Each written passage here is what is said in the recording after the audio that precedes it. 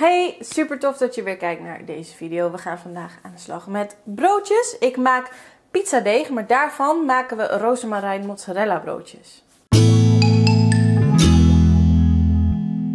Voor onze rozemarijn mozzarella broodjes hebben we de volgende ingrediënten nodig. En ik laat voor nu alleen even de ingrediënten voor het brood zien. Allereerst is dat natuurlijk patentbloem, gist, olijfolie, suiker en zout en lauw warm water. Ik ga het deeg kneden met behulp van mijn eh, keukenmachine van Smeg. Dus daarvoor heb ik hier de kom neergezet. Daarin mag het gist, dat doe ik eigenlijk altijd onderin de kom.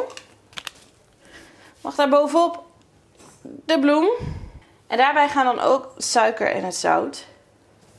Maak een klein kuiltje in de droge ingrediënten. En daar schenk ik dan de olijfolie in. En vervolgens mag daarbij ook het lauwwarme water. En dan laat ik dit door de keukenmachine gewoon even kneden tot een mooi soepel en glad deeg.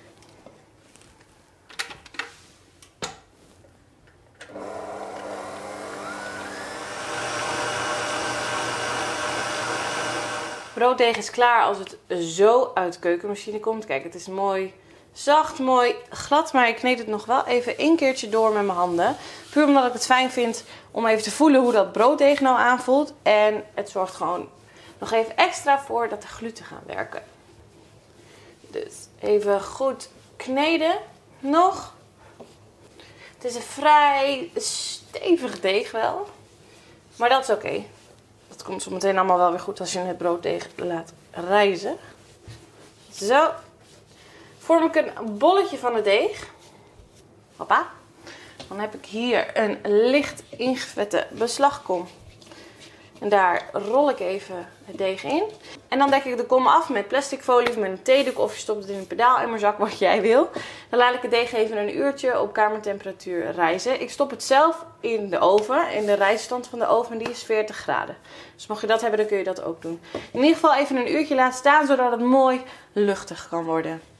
Kijk, ons brooddeeg is super mooi gerezen. Het is lekker luchtig, precies de bedoeling. Ik bebloem mijn aanrecht even heel lichtjes, want ik wil natuurlijk niet dat dit mooie deeg gaat plakken aan het aanrecht. Het zou zo zonde zijn. Ik stort het brooddeeg erop. Oh, lekker dit. Ik hou zo van deegkneden. Het is echt heel, heel erg fijn. Wat ik ga doen, ik maak eigenlijk een soort van ja, grote pizzabonum kun je het wel een beetje noemen. Dit is ook eigenlijk pizzadeeg. Dus je kunt hier prima pizza's van maken als je dat zou willen.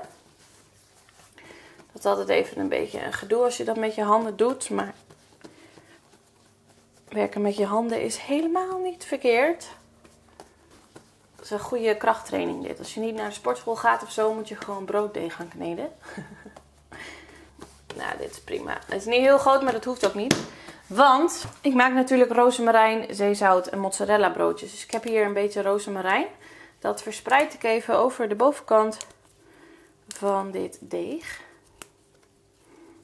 Och, ruikt zo lekker. Daaroverheen mag dan ook grof zeezout. Nu lijkt het net een focaccia. Ook heel erg lekker trouwens. Wat ik dan ga doen is deze pizzabonen even een beetje oprollen. Tegelijkertijd trek ik het nog even een beetje naar me toe, zodat het deeg nog een beetje oprekt. Zo. Hopla. Ik heb zo'n zin in een pizza calzone. Zo. Ik ga dit deeg in stukken snijden van ongeveer gelijke grootte. Zo dan. Ik leg ze heel even aan de kant. Dan pak ik één stukje brood en die sla ik weer even plat. Want daar zit nu die rozemarijn en dat zeezout in, in dit deeg. Dus dat is top. Dan heb ik hier lekker een bol mozzarella. Kijk, daar. Pak even een stuk uit. Leg die mozzarella in het midden van het bolletje deeg. Vouw ik het deeg helemaal naar binnen. En dan pak ik het eigenlijk bovenin samen, zoals je ziet. Even goed dichtknijpen. Dit heb je kunnen zien in de video die ik ook met Fatima maakte. Uh, zij maakte het brooddeeg op deze manier en rolde daarna weer uit. Ik maak er gewoon bolletjes van. Dat laatste tuutje draai je eraf. En tada! Perfecte broodjes. Dus, nog een keer. Je pakt een stuk deeg. Deze druk je helemaal plat. Kijk, hier kun je die rozemarijn ook mooi in zien zitten.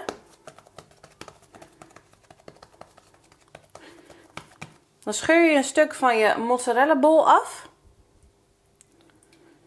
Mozzarella leg je in het midden van het broodplakje. En dan vouw je eigenlijk gewoon de randen van dat brooddeeg naar boven.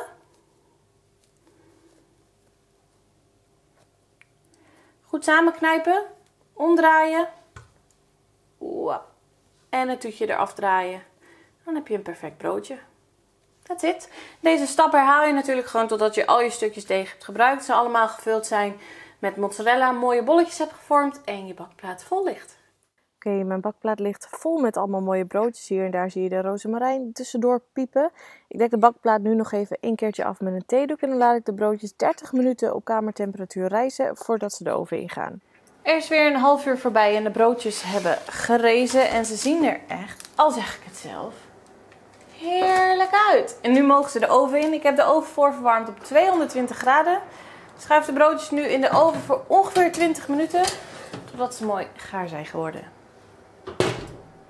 Oh, mijn hele keuken ruikt zalig. Dus dat betekent dat de rozemarijn mozzarella broodjes klaar zijn. En ik heb ze hier.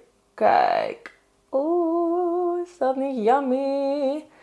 Zien er goed uit, toch? Ik had er al eentje doormidden gescheurd, wat je ongetwijfeld al had gezien. Kijk, zo zien ze er van binnen uit. Je hebt echt zo'n pakketje met mozzarella daar in dat gaatje daar. Je ziet de rozemarijn tussendoor. De broodjes zijn lekker zacht. Dus ik ben heel benieuwd hoe ze smaken. Dus ik ga gauw een hap nemen. Mmm, wauw. Heel erg lekker. Oh, zeer goed gelukt. Zulke lekkere broodjes om te serveren bij soep om op tafel te zetten bij de barbecue of gewoon om zo te eten voor de lunch of zo. Echt heel erg lekker. Je proeft de rozemarijn heel goed en die maakt het hele broodje een beetje fris. Het zout proef je heel goed en dan die lekkere smeuige mozzarella binnenin. Brooddeeg is heel erg lekker zacht, echt top. En ik vond het heel erg leuk om te maken, maar ik hou van broodbakken. Ik hoop in ieder geval dat jij de video leuk vond om te zien. En heb je nou nog vragen over deze video of over het recept? Laat me dat dan zeker even weten. En mocht je nou leuke ideeën hebben voor andere kookvideo's, recepten die je graag wil zien, dan hoor ik het ook heel graag. Bedankt voor het kijken en hopelijk zie ik je de volgende keer weer. Doei doeg!